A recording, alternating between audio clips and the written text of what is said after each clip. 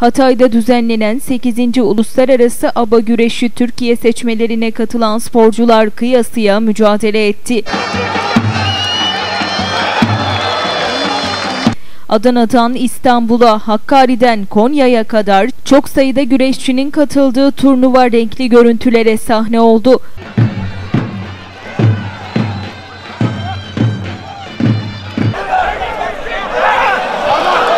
Hatay Büyükşehir Belediyesi Mehteran takımının gösterisiyle başlayan program İbrahim Öztekin'in Başkan Savaş'a aba güreşinde yaptığı katkıdan ötürü şilk takdim etmesiyle devam etti.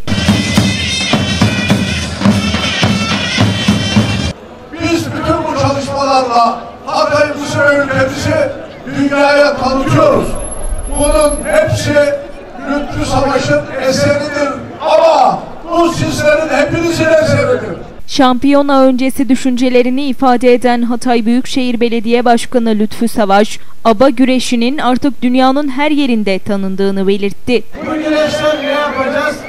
Biz Eylül başında yine Dünya Kupası yapacağız.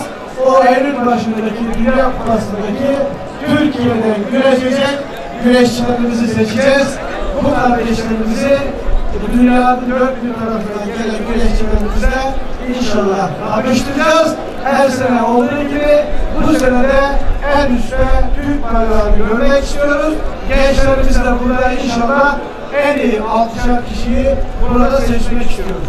Hatay Büyükşehir Belediyesi Spor Kompleksi ve Yaşam Merkezi Mersah alanında gerçekleşen müsabakalar sonunda 50 kiloda Kurban Güven, 55 kiloda Hüseyin Çakıt, 60 kiloda Fatih Önalan, 70 kiloda Enver Sedat Yolcu, 80 kiloda Mevlüt Çolak, 90 kiloda Enes Kaya şampiyon olurken 100 kiloda Ahmet Çağatay dereceye girerek büyükler kategorisinde Türkiye şampiyonu oldular.